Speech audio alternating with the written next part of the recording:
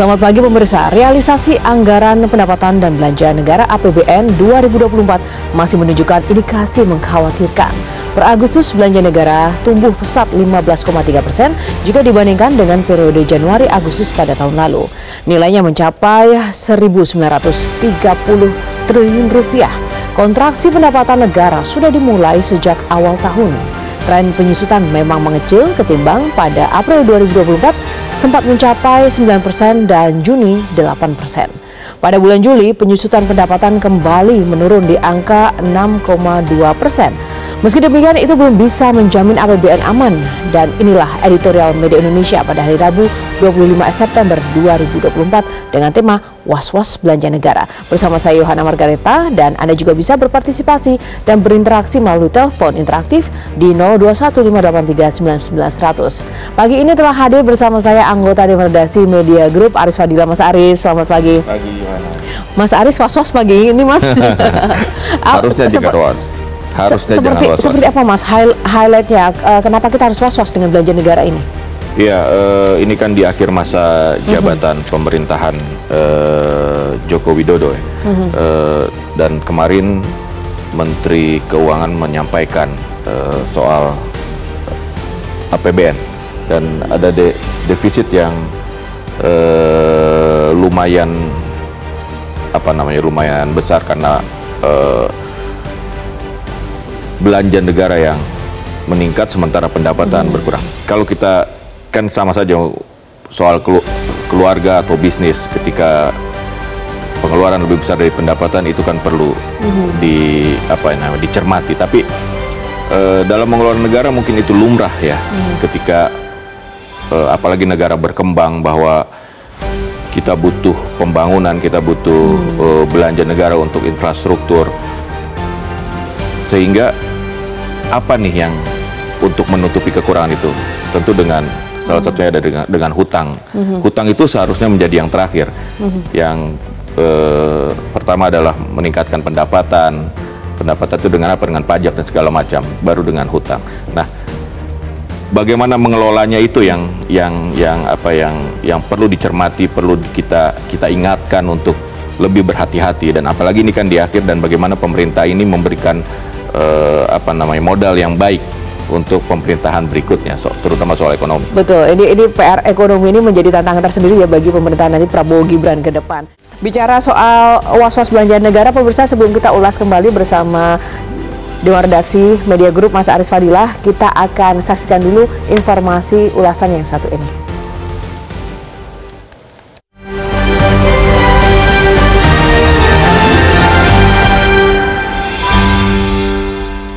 Was-was belanja negara.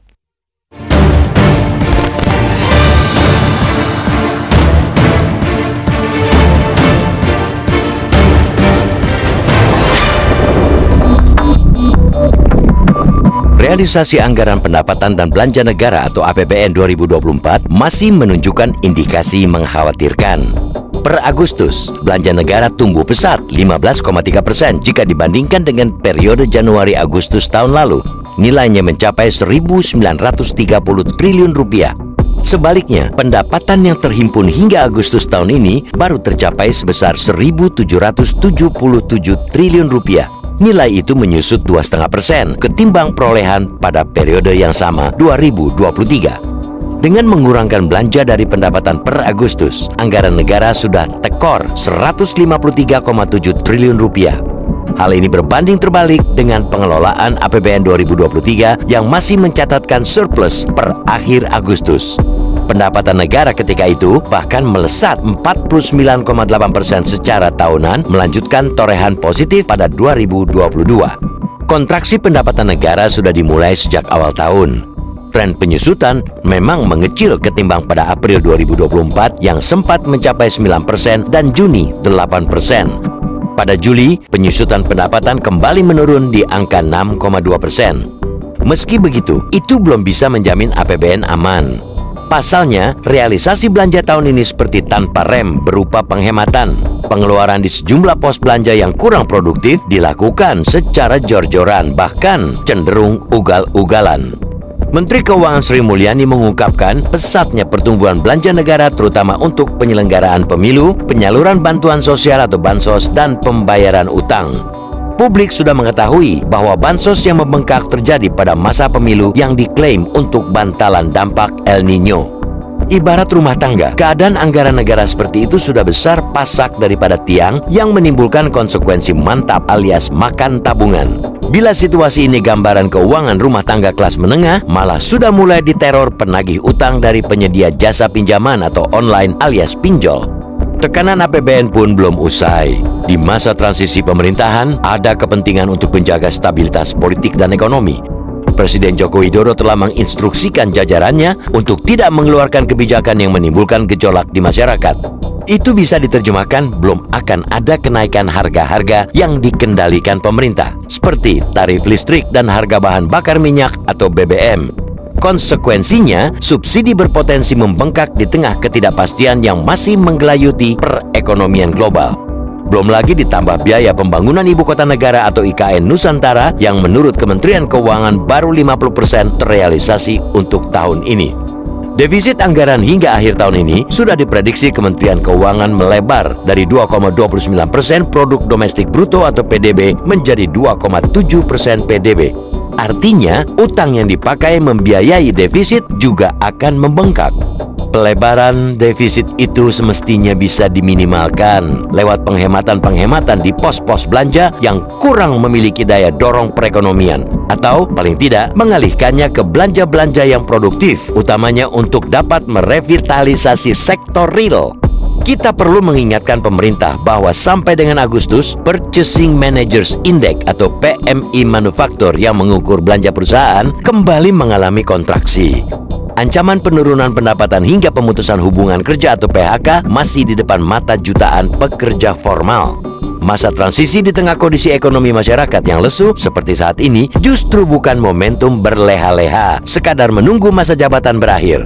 Pemerintah semestinya bekerja keras bersama pengusaha sektor manufaktur untuk merumuskan berbagai kebijakan mengatasi penyusutan industri. Dampaknya bukan hanya sampai ke para pekerja, melainkan juga akan kembali ke APBN lewat pendapatan negara. Hah. Selanjutnya, pandu pemerintahan yang akan datang untuk lebih membelanjakan anggaran secara produktif dengan kebijakan yang tepat. Ada pesan di balik penyebutan langkah pemerintah yang dalam bahasa Indonesia memakai kata kebijakan itu agar dalam menyelenggarakan negara dan melayani masyarakat, pemerintah senantiasa menjalankan dengan bijak, yakni mengutamakan kepentingan rakyat.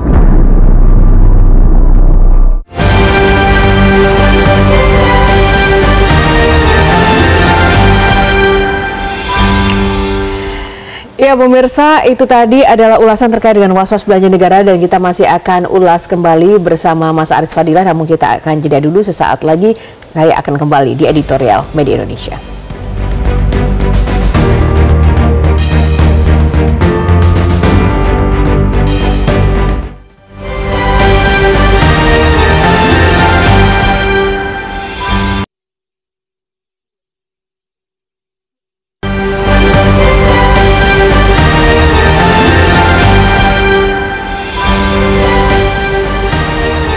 Kembali di editorial Media Indonesia masih bersama Mas Aris Fadilah anggota di redaksi Media Group. Namun sebelum kita ulas kembali bersama Mas Aris, kita akan uh, tersambung melalui line telepon kali ini bersama uh, Mas Media Wahyudi Askar, Direktur Kebijakan Publik Selios. Kita akan sapa Mas Media. Selamat pagi Mas Media.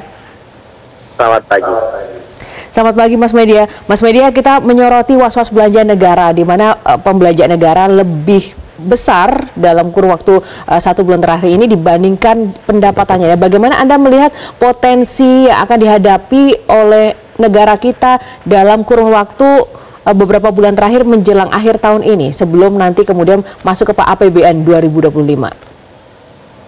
Betul, jadi memang tantangannya sangat uh, signifikan ke depannya karena hari ini kalau kita bicara soal bagaimana progres pemerintahan Joko Widodo selama 10 tahun terakhir kita bisa menarik dua titik waktu 2014 dan 2024 dan ketika kita komparasi maka kita menemukan beberapa uh, fakta dan angka yang cukup mengkhawatirkan. Uh, kita hmm. tahu pertumbuhan ekonomi sebetulnya stagnan uh, di angka 5% dari tahun 2014 sampai 2024 tadi juga sudah disampaikan rasio hutang terhadap PDB uh, juga uh, melonjak 58 persen kalau dari hitungan saya dan sekarang rasio pajak itu uh, hanya sekitar 10 persen gitu. Jadi uh, tantangannya ke depannya tidak mudah karena ruang fiskal kita semakin sempit dan uh, di tahun depan sampai 2028 uh, jumlah hutang yang jatuh tempo kita itu sudah mencapai di angka sekitar 3.000 triliun. Maka implikasi yang paling signifikan adalah tekanan kepada belanja pelindungan sosial dan kita tahu Pak Prabowo uh, menjanjikan banyak hal ya. Pertama KN akan dilanjutkan, makan bergizi gratis, uh, pendidikan gratis, kesehatan gratis dan hmm. ini mensyaratkan dana yang tidak sedikit. Nah, persoalannya hmm. dari mana dana ini akan dicari begitu ya. Jadi hmm. hari ini yang juga saya uh, sangat khawatir ya dengan uh, ya. struktur APBN kemarin, yaitu pengalihan dana-dana uh, dari subsidi yang sebelumnya sudah berjalan kepada program-program pemerintah yang baru. Artinya kemungkinan besar pada tahun depan di masa Pak Prabowo akan terjadi shifting alang, uh, alokasi anggaran dari satu pos ke pos lainnya. Kalau ya, yang dikurangi adalah uh, ya betul. Ya, Mas Media, seandainya Pak Prabowo melihat editorial pagi ini, ada punya kesempatan memberikan saran strategi seperti apa yang mungkin bisa dilakukan oleh pemerintahan selanjutnya untuk menyiasati uh, defisit yang berlebih Iya, sekarang solusinya apa? Selama ini kita selalu bicara soal realokasi dari anggaran lain untuk program pelindungan sosial. Kita bicara hmm. soal pemerintah terpaksa berhutang, tetapi kita lupa untuk membahas kenapa pemerintah berhutang itu salah satunya karena kecilnya pajak. Dan salah satu penyebab kecilnya pajak di Indonesia adalah, kalau boleh saya sampaikan kepada Pak Prabowo hari ini adalah karena kita gagal memajaki orang kaya Orang kaya banyak yang menghindari pajak, tidak membayar pajak, dan sehingga kita kehilangan uh, nominal perpajakan yang sangat besar. Industri ekstraktif misalkan uh, dari sektor batubara, kita hanya menerima sedikit sekali uh, penerimaan dari batubara yang bumi. Dan kalau itu dioptimalkan maka jumlahnya luar biasa. Kemudian hitung-hitungan saya kalau kita berhasil uh, mendorong adanya pajak yang lebih progresif, bahkan pajak kekayaan, maka 2% uh, pajak kekayaan dari 50 orang super kaya di Indonesia itu jumlahnya sudah mencapai 81 triliun. Jumlah uh, yang uh, bahkan lebih dari cukup untuk membiayai makan bergizi gratis uh, programnya hmm. Pak Prabowo Gibran. Artinya uh, kita butuh cara-cara yang lebih berani untuk mengoptimalkan uh, potensi perpajakan kita kalau selama ini uh, diskusinya hanya soal pergeseran anggaran, misalkan makan bergizi gratis, hari ini dibebankan pada anggaran pendidikan. Artinya ada anggaran pos pendidikan yang lain yang dikorbankan kemudian digeser ke makan bergizi gratis. Hmm. Ini kan kasihan, ini sama saja menggeser masalah dari satu masalah ke masalah lainnya tanpa kita menyelesaikan persoalan yang sebenar-benarnya yaitu kecilnya penerimaan negara. Jadi ya. kalau boleh ya didengar oleh tim 8% ya hari ini kita harus hmm. berpikir yang lebih progresif uh, memajaki eh, orang-orang uh, yang selama ini uh, menikmati kue yang lebih banyak dari uh, pembangunan hari ini. Karena pajak sebetulnya bukan hukuman ya tetapi tanggung jawab. Artinya mereka yang menjadi super kaya itu harus membayar lebih banyak untuk uh, negara ini. Jadi urun rembuk pembangunan. Karena kalau kita lihat ketimpangan ya hari ini uh, hitung-hitungan Selios itu 50 orang super kaya di Indonesia itu kekayaannya setara dengan 50 juta penduduk Indonesia. Artinya 50 ada, orang kaya setara dengan 50 juta. Artinya memang secara hitung-hitungan harusnya itu cukup untuk mendongkrak uh, apa pendapatan pajak negara ya. Kalau misalnya ada keberanian untuk kemudian menerapkan kebijakan pajak yang lebih bagi orang kaya yang selama ini mungkin tidak dilakukan begitu ya. Betul sekali, karena ini balik lagi soal bagaimana kita um, ya me menyusun visi ekonomi kita ke depan. Kalau selama ini kita hanya bergantung pada sumber perpajakan hari ini yang sangat konvensional, maka kita akan menemukan distribusi pendapatan yang sangat tidak adil.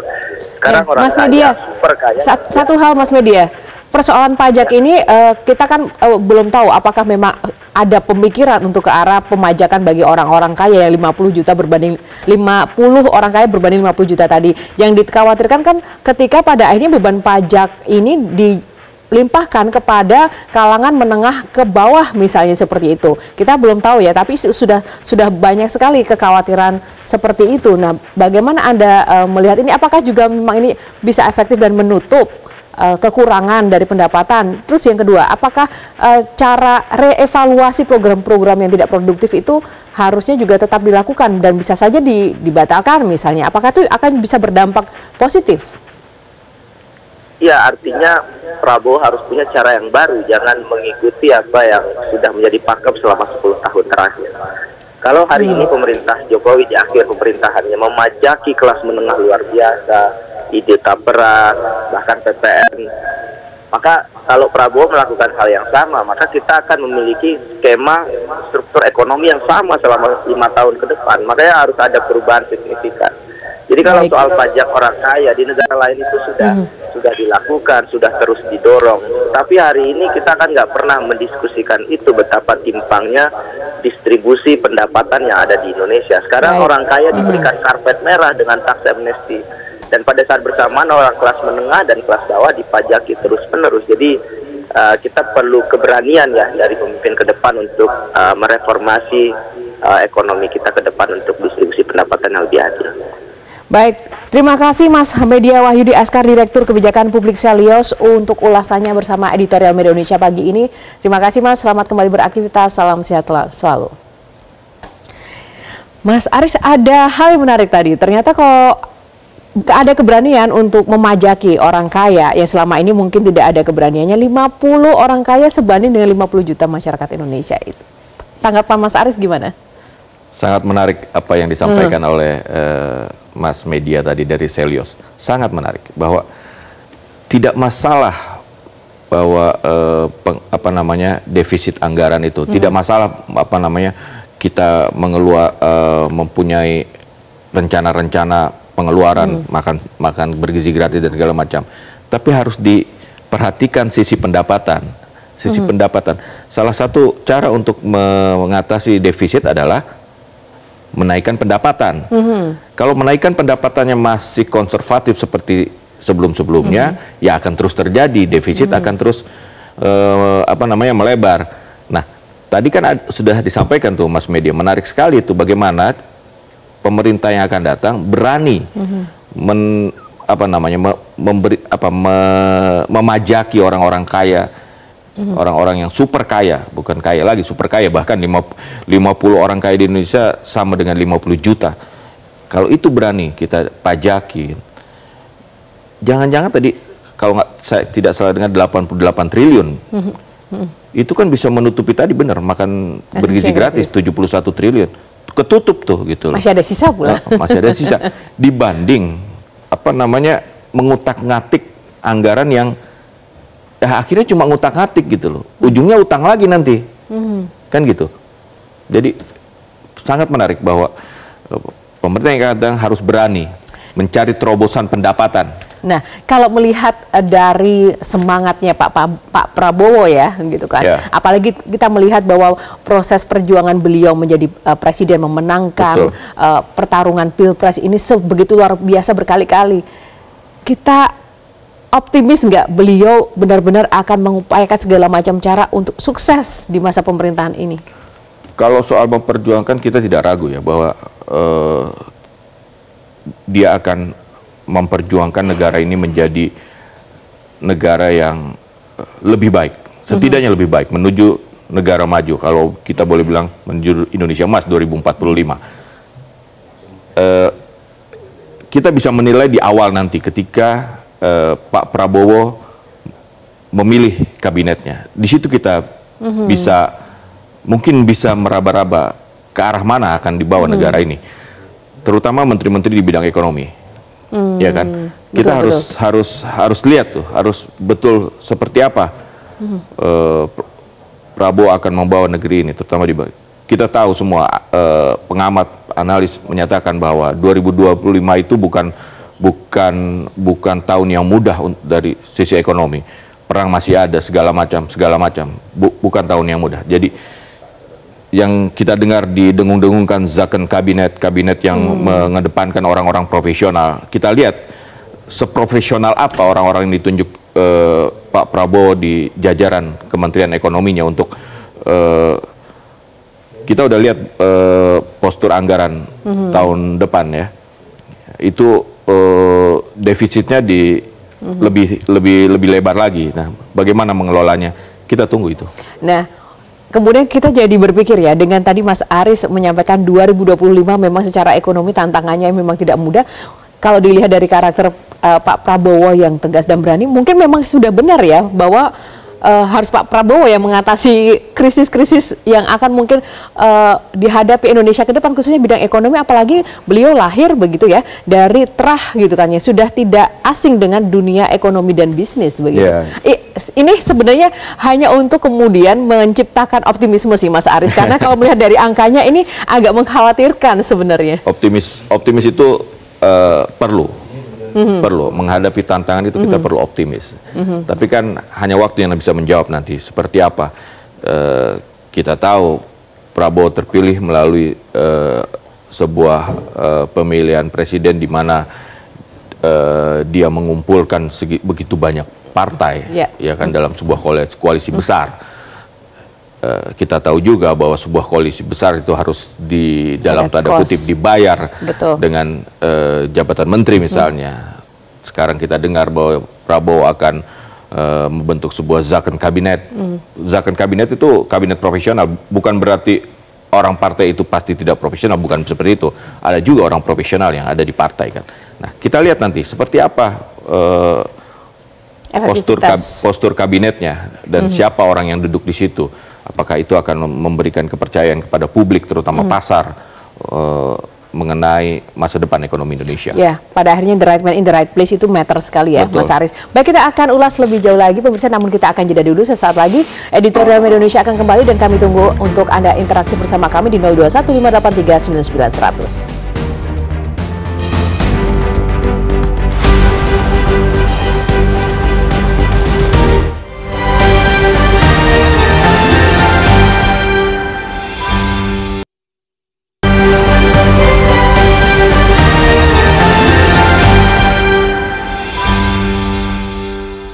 Ya kembali di editorial Media Indonesia, pemirsa kita akan tersambung dengan para penelpon yang sudah antri untuk menyuarakan pendapatnya di editorial kali ini. Kita langsung sapa Pak Sukiwi dari Medan, Sumatera Utara. Pak Sukiwi, selamat pagi Pak.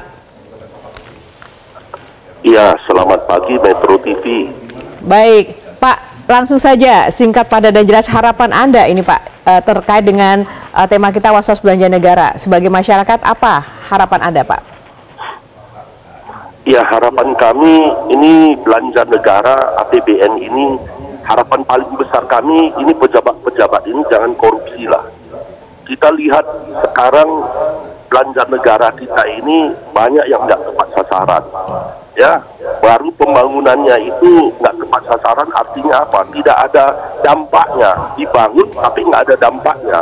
Hanya kita bangun, bangun, bangun, tapi dampak untuk masyarakat untuk menciptakan lapangan kerja itu nggak ada pengaruhnya sehingga ya rakyat tambah susah karena penghasilannya berkurang tidak ada kerjaan kita tahu sekarang banyak sekali anak-anak muda kita sekarang udah lari ke luar negeri dan mereka pergi kerja. Kita tahu nggak kerjanya itu judi online di ke Kamboja itu kalau di kota Medan aja di Medan sekitarnya aja udah puluhan ribu itu anak-anak muda. Udah ke luar negeri hanya untuk bekerja untuk mencari nafkah di negara orang ya dengan mm-hmm. tersiksa di sana. Kenapa pembangunan kita itu nggak tepat sasaran? Kemudian kita tahu setiap pembangunan itu pasti ada korupsinya ya untuk mendapatkan uh, keuntungan bukan bagi rakyatnya tapi bagi pejabat-pejabatnya. Sehingga ya inilah belanja uang belanjanya ini ya di, di, difoya-foyakan lah sepertinya jadi yeah. ketiga, kedua juga masalah pajak ini tolong pajak ini jangan hanya uh, menengah ke bawah ini atau menengah aja ini yang jadi sasaran orang kaya tadi sudah dikatakan jadi sasaran oke okay. tapi jangan lupa juga pejabat-pejabat ini juga kita lihat LHKPN mereka itu yang begitu besar-besar ya Kenapa? Apakah mereka sudah dikenakan pajak? Ya, Baik. bupati, ya wali kota dan yang lain-lainnya, Ya. ya harus dikenain pajak semua. Jadi harapan Baik, kami, marilah uang uang APBN ini jangan diugal-ugalkan, jangan dipoya-poyakan, jangan dikorupsi. Terima kasih. Terima kasih suara Pak Sukiwi mungkin juga suara masyarakat banyak ya harapan untuk pemerintah semoga didengarkan dan kita langsung ke Purbalingga ada Ibu Indra. Ibu Indra selamat pagi. Selamat pagi. Selamat pagi Ibu, silakan Ibu. Ya, eh, apa? Ini terima kasih sekali saya diberi waktu. Jadi kalau saya sebagai masyarakat kecil gitu ya, saya ibu rumah tangga, udah lansia gitu, tapi saya sering eh, melihat berita-berita ini seneng gitu untuk untuk apa namanya ya, biar pinter gitu. Nah, kalau mengenai pajak itu ya, saya lihat eh, apa sebetulnya pajak itu memang bisa diperoleh banyak oleh negara. Tapi masalahnya kan SDM dari eh, kantor pajak itu sendiri kan belum benar gitu loh. Jadi sekarang kalau saya lihat di daerah itu ada loh auditor yang memanipulasi data pengusaha. Jadi yang harusnya dia setor berapa bisa diturunkan berapa kayak gitu loh. Nah itu kenapa negara bisa nggak tahu kayak gitu. Itu kalau Baik, bisa ya. diperbaiki pasti kan akan ada masukan yang lebih banyak yang masalah eh, infrastruktur yang dibangun-bangun itu itu memang bagus, tapi nggak pakai riset gitu. Jadi gini, misal di daerah dibangun gitu ya, ternyata yang jalan besarnya itu banyak toko-toko yang tutup loh, banyak yang mau dijual. Karena orang sudah larinya lewat jalan pintas jalan baru. Nah jalan yang lama itu yang udah pada berusaha itu pada bangkrut itu pada banyak yang mau dijual itu jadi semuanya itu enggak enggak di ini dikerjain tapi nanti akibatnya apa ya dampaknya apa ya itu enggak jadi makanya Ya. di sini maju nanti di sana ambruk itu ekonominya itulah ya saya sih Ya, Ibu Indra. seperti bansos nggak nggak tepat sasaran. Saya sendiri nggak suka bansos, ya meskipun saya masyarakat kecil, saya tetap harus hidup harus kerja keras, usaha gitu. Tapi saya nggak suka bansos gitu, meskipun orang kecil Ya. gitu. Jadi Baik, ya Ibu Indra. itu aja. Heeh, Terima makasih kasih, ya. terima kasih, terima kasih untuk harapan dan tadi masukannya Ibu Indra juga eh, baik sekali ya. Intinya SDM dan tidak koruptif. Nah itu menjadi salah satu ganjalan eh, tersendiri bagi eh, proyek-proyek atau pemasukan negara. Nah kita ke Bapak Ramadan dari Jambi. Pak ja, Pak Ramadan dari Jambi, selamat pagi Pak. Selamat pagi, Assalamualaikum warahmatullahi wabarakatuh, Mbak Yohana dan Pak Waalaikumsalam Arif. warahmatullahi wabarakatuh. Terima kasih eh, Metro Silakan, Pak. TV hari ini was-was terhadap eh, APBN kita. Menurut saya Pak Arif, menurut saya loh ya pikiran saya, eh untuk memperbaiki negeri ini hukum tegakkan dengan baik. Fakta Pak Arif, ekspor CPO kita tiga tahun yang lalu sampai hari ini belum ada beritanya siapa yang ditahan. Terus ada bocoran ekspor 5 juta ton nikel. Tidak ada beritanya sampai ke mana. Kemudian orang kaya sangat sedikit disentuh oleh pajak. Yang ketiga Pak Arif, para para pegawai pajak kekayaannya luar biasa. Jadi menurut saya dari semuanya ini penegakan hukum kita masih sangat lemah. Pak Prabowo kalau penegakan hukum ini baik, maka pengelolaan negara ini APBN kita akan baik. Pak Arif saya kasih contoh. Embung yang dibangun itu tidak efektif Pak Arif. Di Jambi ini banyak embung itu cuma untuk ternak-ternak ikan, tidak efektif. Uang yang begitu besar. Yang kedua, dana bos untuk sekolah pengawasannya sangat rendah sekali. Banyak wali murid yang tidak tahu dana bos itu. Dia sekolah di SMA pada tertentu masih dipungut biaya, uang ini, uang itu dan segala macamnya. Jadi dari semuanya ini Pak Arif penegakan hukum nomor satu. Baik, Harapan saya DPR tolonglah lihat ini dengan mata hati. Negara ini oh, diambang diambang kesusahan. Anggota DPR yang mengawasi kerja pemerintah adanya di mana. Terima kasih Metro. Assalamualaikum warahmatullahi wabarakatuh.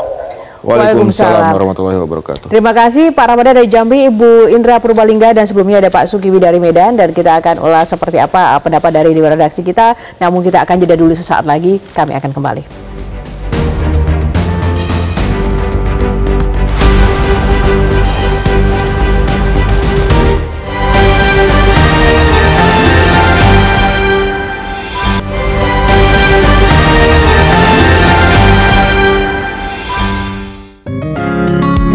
Indonesia mengajak Anda untuk mengakses fitur premium e-paper.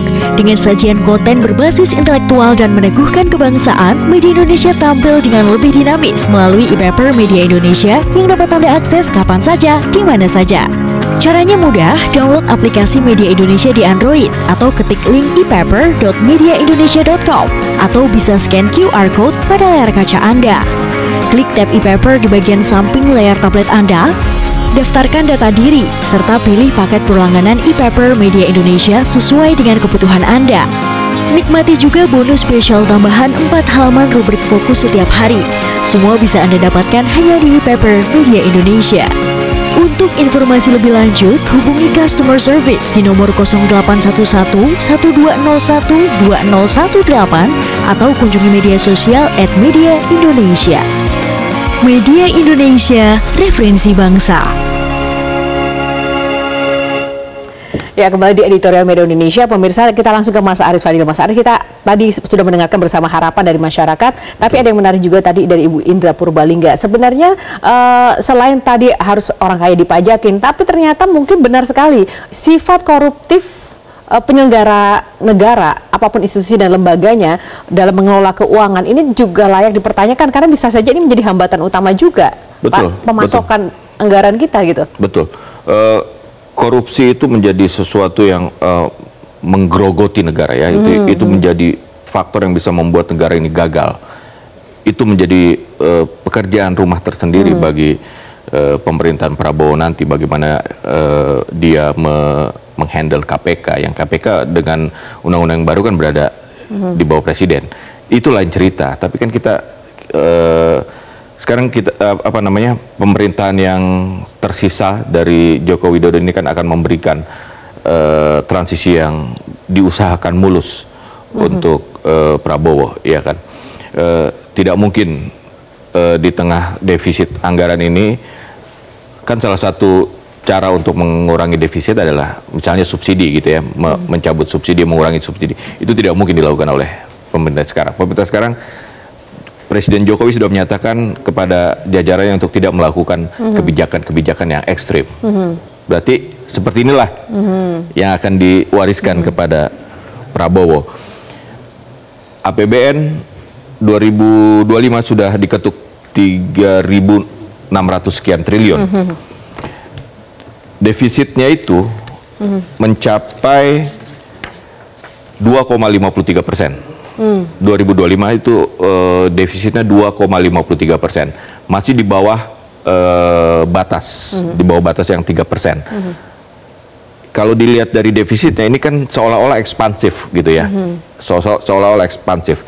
Tapi harus hati-hati nih, karena apakah eh, apa namanya defisit anggaran itu bisa menstimulus hmm. eh, pertumbuhan ekonomi. Hmm. Pertumbuhan hmm. ekonomi sekarang tadi Pak dari Selius menyatakan stagnan di 5 persen. Hmm. Bahkan untuk mencapai target 5,4 di akhir tahun kita pesimis lah. Hmm. Prabowo sempat menyatakan 8 persen. Hmm. Kalau kita lihat postur anggaran dan segala macam agak sulit untuk mencapai 8 persen. Kenapa? Karena program-program yang kita sebut program quick win ya. Quick win itu program-programnya Prabowo, makan gratis, sekolah, eh, apa nama rumah sakit segala macam. Itu kan program-program yang harus dibiayai tapi dampaknya tidak tidak langsung ke pertumbuhan ekonomi. Itu dampaknya baru akan kita hmm. rasakan jangka panjang. Nah, ini yang bagaimana? Nah, tadi kan ada solusi yang lumayan apa ya bukan lumayan oke okay tuh bagaimana pajak Bagaimana me, me, me, mengurangi defisit itu dengan apa? Ya menaikkan pendapatan. Hmm. Kan Prabowo tidak mungkin me, me, menunda program-program hmm. janji kampanyenya, hmm. tidak mungkin. Yang bisa dilakukan apa? Berarti kan menaikkan pendapatannya. Hmm. Salah satunya yaitu memajaki orang kaya. Betul sekali. Memajaki orang kaya ya pada akhirnya ada konsekuensi-konsekuensi juga. Oleh karena itu tadi kata kuncinya memang butuh keberanian. Memang kita akan lihat iya. seberani apa Pak Prabowo tapi ya lagi-lagi ya memang harus harus optimis gitu kan untuk untuk pemerintah ke depan itu benar-benar harus bisa menerapkan kebijakan yang proporsional begitu. Betul. Keberanian untuk memajaki orang-orang kaya yang 50 juta eh 50 orang itu. Terus bagaimana tadi keberanian untuk uh, apa namanya menindak tegas mm-hmm. perilaku koruptif dan mm-hmm. uh, pemborosan-pemborosan yang tidak perlu, mm. tidak perlu ya kan? Tadi bos di mm-hmm. sudah ada bos itu gini kan itu. Mm-hmm. Nah, jangan sampai pemerintah yang akan datang hanya me, apa namanya menggeser-geser anggaran yeah. untuk makan gratis pakai dana pendidikan, akhirnya pendidikannya kurang. Itu kan harus ada tindakan progresif untuk menambah pendapatan pajak jangan jangan kelas menengah yang dipajakin mm. udah kelas menengah kita sudah tahu bahwa kelas menengah Indonesia semakin menurun mm. itu kan harus dinaikkan mm. kenapa dinaikkan supaya konsumsi tinggi konsumsi mm. tinggi pertumbuhan ekonomi kan seperti itu mm.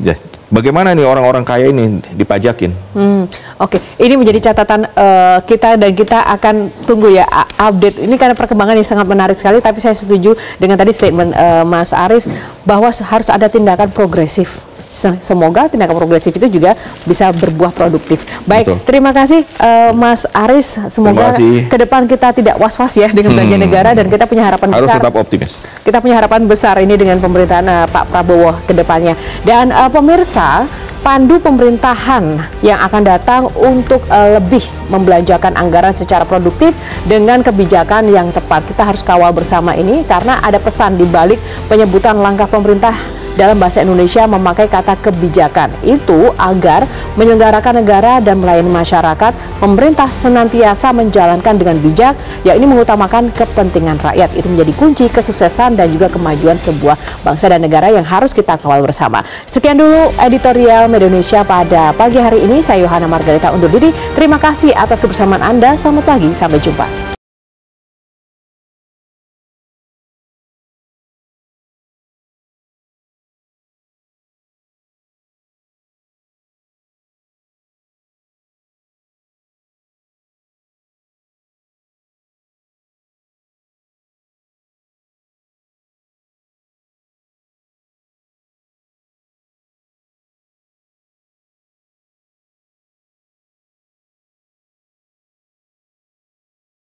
Jelajahi cara baru mendapatkan informasi. Download Metro TV Extend sekarang.